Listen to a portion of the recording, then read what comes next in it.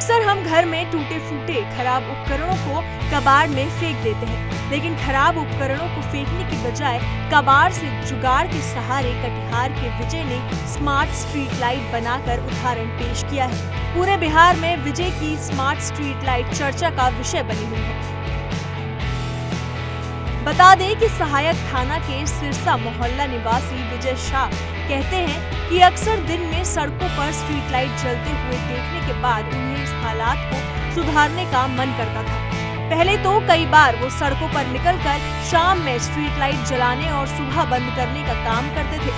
कई बार असफल प्रयास के बाद लगातार कई महीनों की मेहनत से एक ऐसा सेंसर सिस्टम विकसित करने में वो सफल रहे। मार्केट में, गाँव में, गली में देखता था।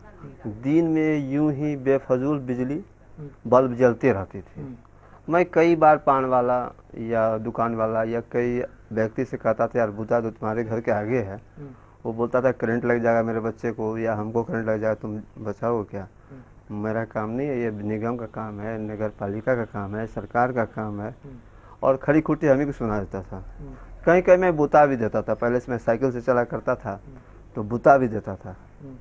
लगता था हमको कोई सम्मान करेगा। बुताने में कुछ अच्छा लगता था।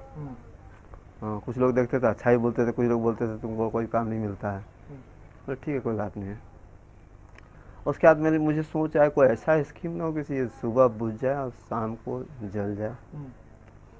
तो मैं काफ़ी प्रयास किया और प्रयास में सफल हुआ। और सफल होने के बाद मैं अपनी छत के ऊपर एक लाइट का प्रयोग में लगा दिया।